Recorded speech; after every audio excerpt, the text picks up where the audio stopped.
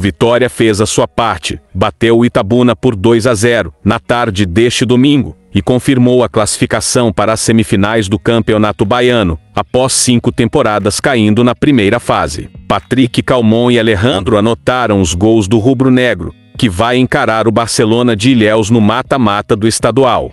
Falei no início do ano que a expectativa era de que o Vitória voltasse a ser protagonista em todas as competições. O primeiro objetivo foi alcançado, mas ainda temos coisas que a gente pretende alcançar: a vaga na final, a classificação para a fase final da Copa do Nordeste e fazer brasileiro consistente, celebrou o técnico do Vitória.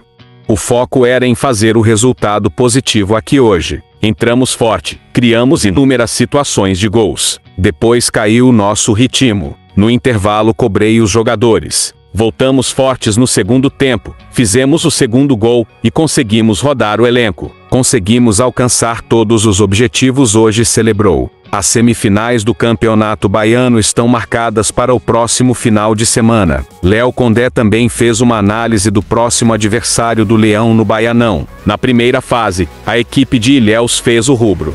A gente fica feliz de ter alcançado o primeiro objetivo, a classificação para a semifinal. E vamos enfrentar um bom adversário, que nos venceu. Vamos procurar nos estruturar bem para chegar bem para esse jogo. Tem tudo para ser semifinal interessante. Espero que o Vitória possa ser consistente, conclui o técnico.